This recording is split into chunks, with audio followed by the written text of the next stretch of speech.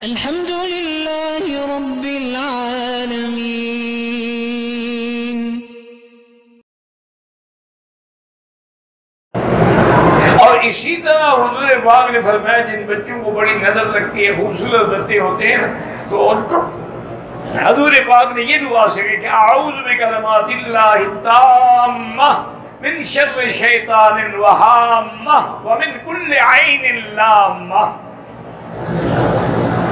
तो अगर ये पढ़ के दम करेंगे इंशाअल्लाह तो उसको नज़र नहीं लगेगी और बेचारा बच जाएगा। आजकल तो एक, क्या किस किस बात को रोए हम?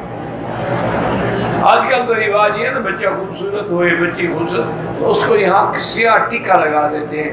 जी, ये सियाह टीका लगा होगा ना तो नज़र नहीं लगेगी। यानी सियाही ऐसी बदबख्त है कि नज़र को भी नहीं आने देती। फिर सियाह कपड़े जो पहनते उसका क्या होगा? नज़र से महफूज रहोगे। बस एक रिवाज है, एक बातें हैं, लोगों ने बना रखी हैं। अच्छा किसी को नज़र लग जाए हो जी सात मिर्चियाँ लेके उसको आग में जला के उसके ऊपर फेरते हैं। फिर के आग में डालते जाओ, फेरते जाओ, आग में डालो नज़र खत्म हो जाएगी। इन्ना लिल्लाहि व इन्ना इलैहि हालाँकि हुजूर पाक नज़र बद का इलाज बदलाया है और हमारा ईमान है कि नज़र लगती है। अल्लाइन हक्कुन। हुजूर ने फरमाया कि नज़र पर हक। और ये भी हजूर ने फरमाया कि नज़र ऐसी बना है कि ये ऊँट को देगची में पहुँचा देती है और बंदे को कब्र में पहुँचा देती है।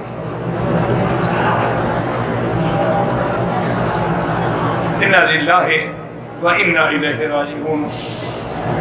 अच्छा किसी बंदे की नज़र लगती हो ना, उसको कोई चीज़ देखे तो फ़ौरन कहना चाहिए माशा अल्लाह माशा फिर नज़र नहीं लगी कोई कलमा कह दिया अल्लाह अकबर, ला हौला वला अऊज़ु बिल्लाह फिर नज़र नहीं लगी एक सहाबी उसल कर रहे थे तो दूसरे ने देखा तो देखा, ओ, ऐसा खूबसूरत जिस्म तो मैंने देखा ही नहीं, वो सहाबी गिर गया। सही हदीस रसूलुल्लाह।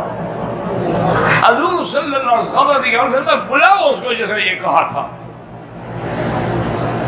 वो उसको बुलाया अपने में कतल था साहिब का, अपने साथी को तुमने मार डाला है। अब ऐसा करो कि एक बर्तन में खड़े होकर गुसल करो वज़ू करो गुसल करो। हत्या कि ये भी कहा गया है कि संजा भी करे। और वो पानी ने फरमाया ये पानी इकट्ठा हो ना वो जिसको नज़र लगे उसके ऊपर डाल दो। साहबा कहते हमने उसको गुसल कराया पानी दिया उसको डाल, बस पानी हम डालते देंगे उठ के खड़ा हो गया नज़र खा तो अगर तो तुम्हें पता हो ना कि इसकी नज़र लगी है। तो फिर तो यही इलाज है कि उससे कहो भी जल्दी जल्दी वज़ू करेगा गुसल को पानी दे के डाल नज़र खत्म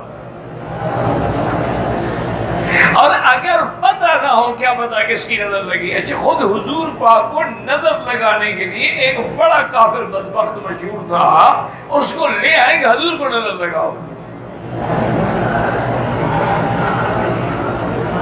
अच्छा ये नज़र भी ऐसी बदबख्त है कि आदमी भूखा हो ना तो ज़्यादा असर करती है। वो सात दिन भूखा बैठा रहा हजूर को नजर लगाने के लिए लेकिन हजूर पे नजर ने असर नहीं किया वजह यह है कि अगर तुम जान के नजर लगाने आओगे तो कभी नहीं लगेगी ये कुरान में है यानी ये कोई अल्हम्दुलिल्लाह हम किससे कहानियां नहीं बयान करते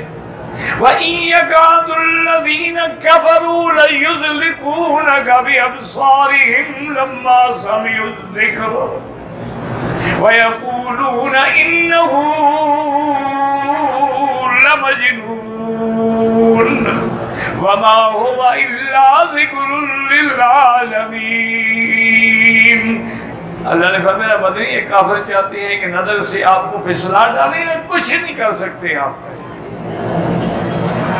और आपको दीवाना भी कहते हैं तो अल्लाह की शान देखो जिसको नजर बद लग जाए उसका इलाज भी यही आया था